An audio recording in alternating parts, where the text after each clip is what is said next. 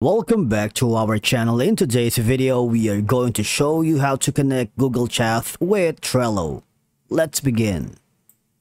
Now, the first thing you need to do is to log in using your credentials. If this is your first time here in Trello, you might want to click on the sign up option here. You can enter your business or working email, but to simplify the whole process, just click on the continue with Google continue with Microsoft, you can continue with their Apple or your Slack account. And by following the on-screen instructions, you are all set.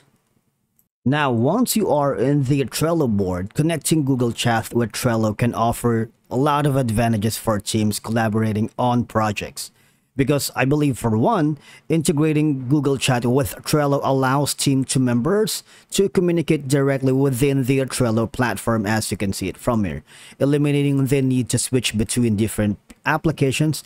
Now, obviously, it streamlines communication and keeps relevant discussions and updates closely tied to projects, tasks, and boards, right? Now, for us to be able to connect our Google Chat with Trello, all we're going to do is go to the right side of your dashboard, click on the Power Ups right here. And now click on the uh, Add Power Ups because from here you can bring additional features to your boards and integrate apps like Google Drive, Slack, and more. Now click on it. And from here, all you're going to do is search for Google Chat right here. Okay.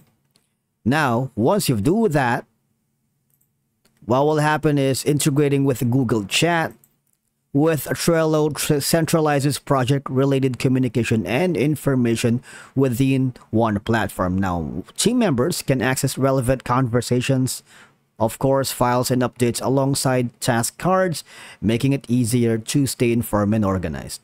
And once it's already been added, click on the settings option right here so that you can tweak the configuration.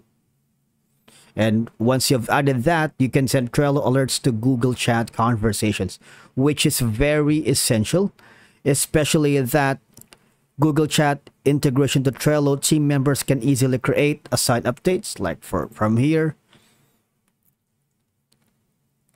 You can dis discuss tasks directly within the Trello interface. Now, this seamless integration and task management ensures that relevant conversations are linked to specific tasks like here on the board, right? And enhancing clarity and productivity here on the Trello platform. And I believe that's a wrap for today's video. Thank you so much for watching. We will see you in the next one.